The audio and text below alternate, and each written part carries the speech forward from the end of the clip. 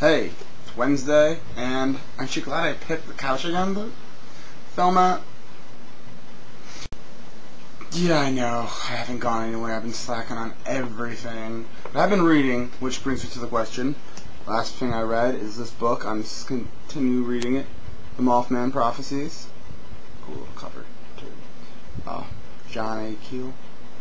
It's a really, really, really good book. Um, I'm only up to page, like, 40, but already this is more in detail and more in depth than the entire movie was. Like, for reals. And, um, so that's the question, answered and all. I've always been interested in the paranormal stuff, like since I was a little kid. And to make it even cooler, I've always been addicted to these too. I am your very own spooky. Um, that's pretty much that.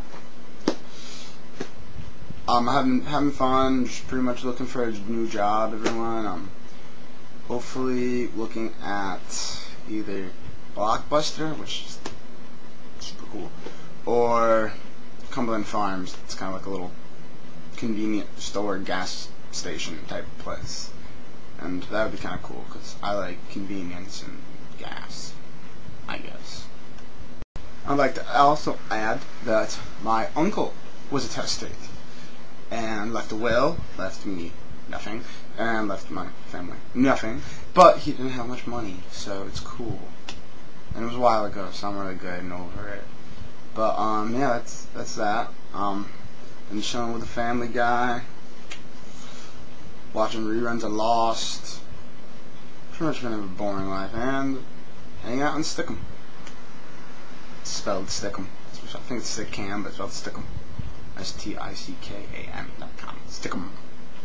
I'm addicted to that place too. Um, so that's pretty much it.